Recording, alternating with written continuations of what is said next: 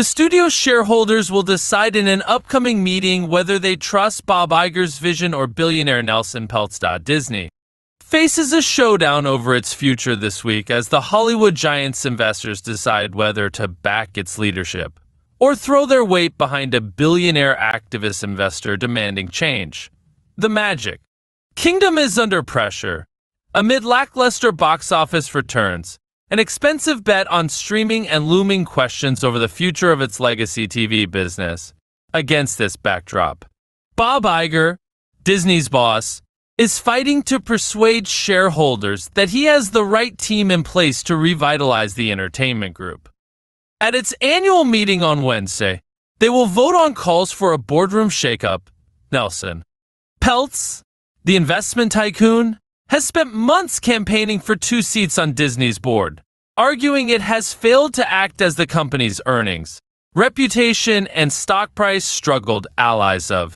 Peltz, 81, have questioned how Iger, 73, plans to turn the company around and lay the ground for its next leader. Iger, who served as CEO from 2005 to 2020, has already picked one successor, settling on Bob Chapek, who oversaw its parks and resorts, only to be summoned out of retirement two years later, when Chapek was ousted amid alarm on Wall Street over the company's performance.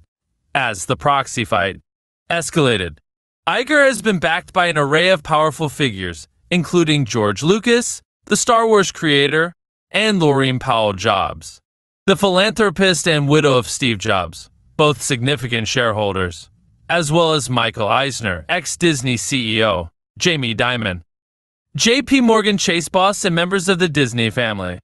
Over the years, Peltz, who runs the hedge fund Trian Partners, has proven to be a formidable opponent with campaigns at consumer goods companies including Mondelez, Heinz, and Procter and, Gamble.